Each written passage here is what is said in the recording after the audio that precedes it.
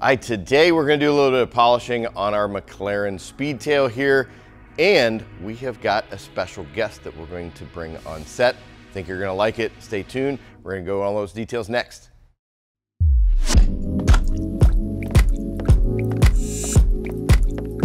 Hi, I'm Todd Cooperider with Esoteric. Today, like I said, we're taking a look at this McLaren Speedtail.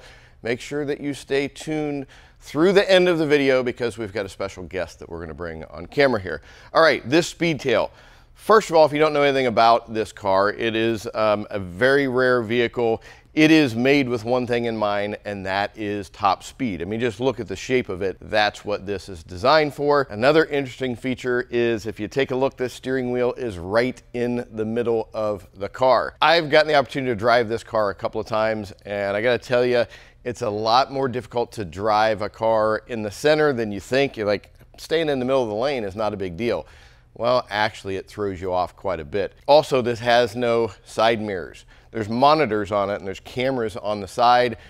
That's a lot different than looking at a mirror, what we're used to. And you really can't see anything behind you either, and this thing's about 97 feet long. But really cool car. We've worked on this before. The customer had to have some changes. We had to go in and do a paint protection film on the back section of it, replace it.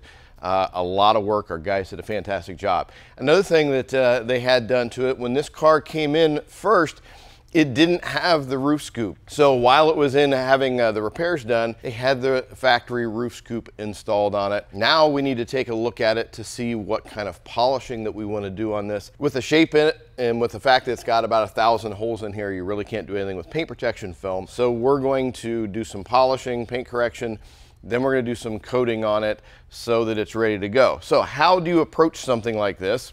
Well, it's just like any car. You know, somebody calls and says, hey, I got this car coming in, what should my approach be?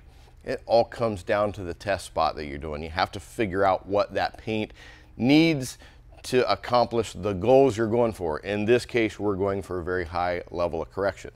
So as I look at it, I can tell, you know, like any kind of factory part or so that was done, it's got a lot of swirls in it. I know this is softer paint because we've worked on some of the other pieces uh, of it too. So with that in mind, First thing I'm gonna do is I'm gonna do a test section uh, with like a one-step process.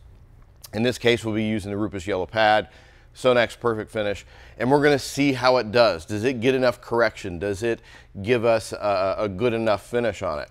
If not, we'll make some adjustments from there. I've got a couple of different options. I've got my microfiber cutting uh, disc if we need to do any compounding. I've got yet a softer finishing pad if we need that, if, it, if it's gonna be that finicky.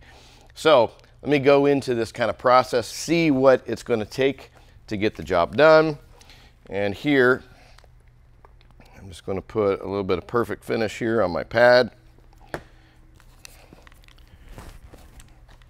And let's see how this is going to react.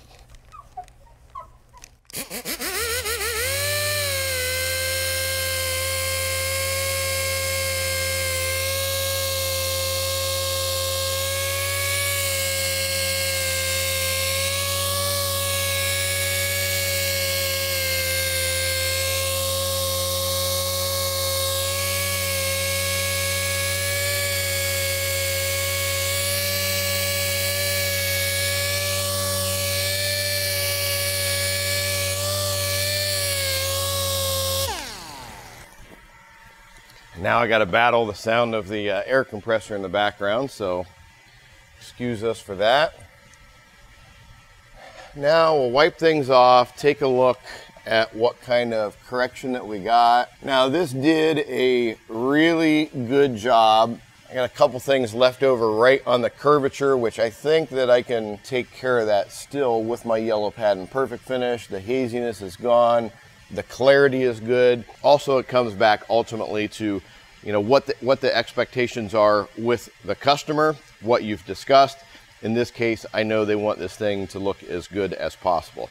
Now I'll continue on. I'll do all the rest of the polishing uh, on this great big piece here, work uh, uh around the holes. Then we'll clean everything up. I'll have uh, the rest of the team come in a little bit later, do all the coating on top of the surfaces, and we should be good to go. So kind of the lesson here is it's all about the test spot, finding out what you need to do don't just automatically think that you need to do a multi-step correction on everything that you're working on.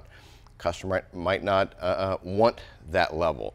Uh, you don't just throw it in for free, so to speak, if you're a detailer. Even those of you at home that are working on things, don't get too intimidated by the fact that, oh, I gotta do a multi-stage or whatever. Learn that one step. You'll be surprised and amazed just how good of a job that can do. Okay, I said that there's gonna be a special guest here.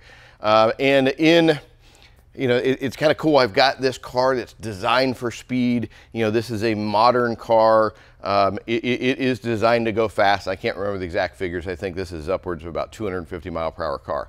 Now, the special guest is not a person. The special guest is a car.